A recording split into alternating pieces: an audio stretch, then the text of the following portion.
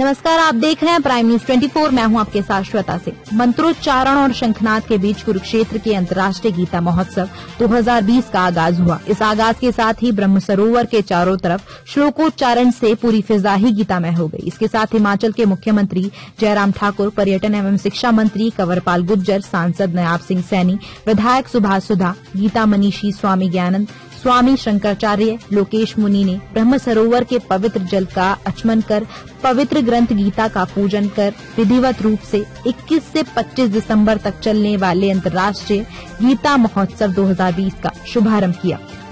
सोमवार को ब्रह्म सरोवर के पुरुषोत्तमापुरा बाग में हिमाचल के मुख्यमंत्री जयराम ठाकुर का जैसे ही आगमन हुआ, उसी समय शंख ध्वनि व मंत्रोच्चारण के बीच सांसद नयाब सिंह सैनी थानेसर विधायक सुभाष सुधा, राज्यपाल सचिव एवं केडीबी सदस्य सचिव जी अनुपमा, उपायुक्त शरणदीप कौर बराड़, केडीबी के मानद सचिव मदन मोहन छाबड़ा, केडीबी सीईओ अनुभव मेहता ने परंपरा अनुसार स्वागत किया। इसके पश्चात हिमाचल के मुख्यमंत्री जयराम ठाकुर, पर्यटन एवं शिक्षा मंत्री कंवरपाल गुज्जर सांसद नायब सिंह सैनी, विधायक सुभाष सुधा, गीता मनीषी, स्वामी ज्ञानंद स्वामी शंकराचार्य लोकेश मुनि ने ब्रह्म सरोवर के पवित्र जल का आचमन कर पूजन अर्चन किया और पवित्र ग्रंथ गीता पर पुष्प अर्पित कर पूजन किया।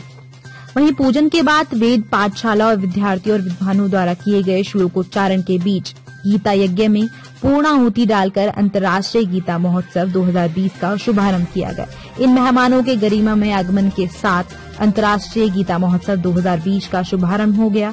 यह महोत्सव 21 से 25 दिसंबर तक चलेगा। इस महोत्सव में पचपन हज़ार विद्यार्थियों के साथ वैश्विक गीता पाठ, अंतर्राष्ट्रीय गीता वेबिनार, संत सम्मेलन, ब्रह्म सरोवर की महाआरती आदि मुख्य आकर्षण का केंद्र रहेंगे। इसके लिए प्रशासन और कुरुक्षेत्र विकास बोर्ड की तरफ़ से सुरक्षा और व्यवस्था के तमाम पुख्ता इंतज़ाम किए गए हैं।